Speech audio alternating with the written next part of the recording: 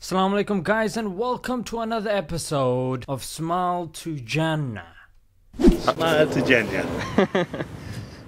Tuesday 13th of August 2019 which was a few days ago.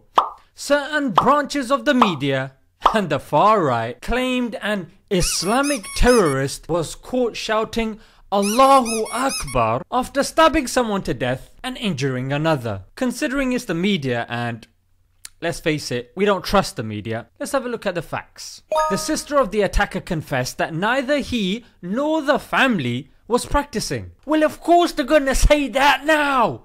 Duh! Mm, fair enough, but seen as the woman that he stabbed was a prostitute that he just slept with, the case for him not being a practicing Muslim seems quite strong, seen as killing and adultery are major sins within Islam.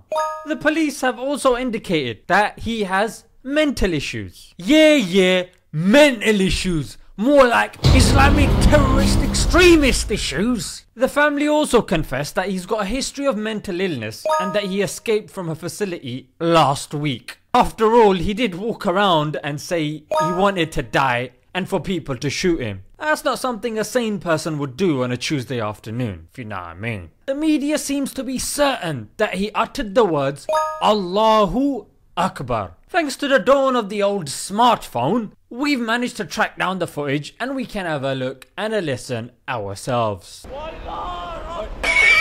yeah, that sounds like Walla Rabba. Hang on a minute, he's gonna have another go. Don't embarrass yourself in front of me. That sounds like Allah Rakbar.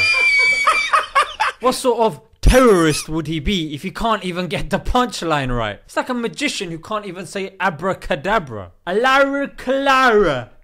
It's not working, Dave. Why isn't it working? What the hell is this? A'udhu billah. Then, three Brits, using a milk crate, managed to apprehend the assailant. The media rightfully hailed them as heroes and brave. That did make me think. Here, there are three of them. They were young. One was a Thai boxer, and they used a crate against a knife. Whilst, on the other hand, in Norway, there were two uncles. Both were over the age of 64, and they used their bare hands against a young guy with a gun. I don't remember any headlines hailing the uncle as a hero or even brave. You double standard hypocrite! I guess that explains the hypocritical nature of the media that we've all grown to accept and severely dislike. I'm not gonna say much. I'm not gonna say much. Fix up. Fix up. Yeah? Anyways, guys, hope you benefited from that. Don't forget to like, comment, and subscribe. Check out the previous podcast. Until next time, Salam Alaikum. What does that mean? It's not Muslim for kill everyone, is it?